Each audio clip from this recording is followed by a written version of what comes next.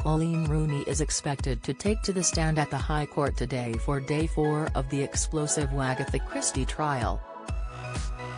So far the bitter battle has seen Rebekah Vardy, 40, compare her arch-rival to a pigeon that has in your hair after the WAG's infamous Instagram post and break down in tears as texts with her agent about Rooney's personal Instagram were read out in court.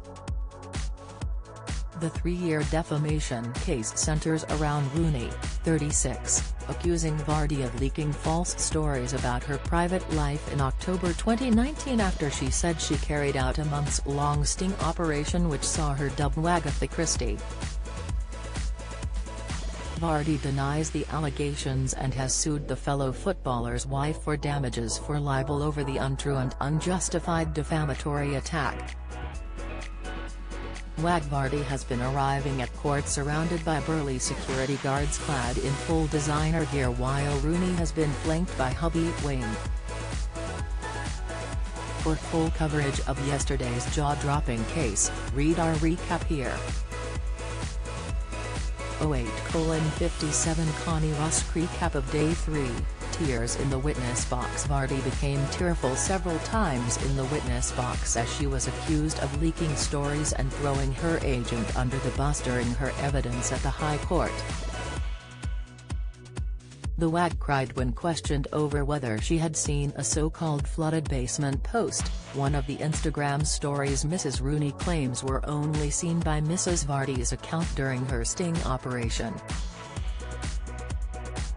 Questioned about alleged inconsistencies in her evidence, Mrs. Vardy replied there was a lot of abuse during that time before she started to cry in the witness box. As the judge left the room after granting a short break, a tearful Mrs. Vardy put her head in her hands on the desk. She will be questioned by her own barrister on Friday before Coleen begins her evidence. 08:38 Connie Rusk What will happen in court today? Coleen is expected to start her evidence in the high-profile libel claim brought by fellow footballer's wife Rebekah at the High Court. On the fourth day of the trial on Friday, Becky is due to finish her evidence, with Coleen then taking her place in the witness box. Rebekah has been giving evidence for around 10 hours, and has broken down in tears several times as she was cross-examined by Rooney's lawyer David Sherborne QC. 08:32 Connie Rusk The Wagatha Christie Instagram post Coleen made the accusation on her Instagram account. The mom of four wrote she suspected a pal had been leaking stories about her she claimed to have posted a string of false stories to see if they would be published in newspapers and they were. Her post said the bogus stories were only seen by one follower, concluding, it's Rebekah Vardy's account. 08 30 Connie Rusk Background to the case Rebekah Vardy, 40, is suing Coleen Rooney, 36, for libel claiming she wrongly publicly outed her as the snitch who had leaked details of her private life.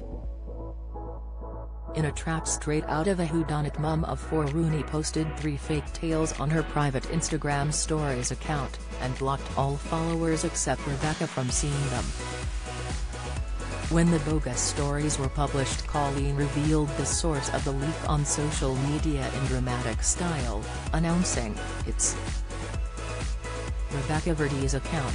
The sting earned Coleen the nickname Wagatha Christie. Rebekah denies the allegations and wants damages and a restraining order to prevent Coleen repeating the allegation.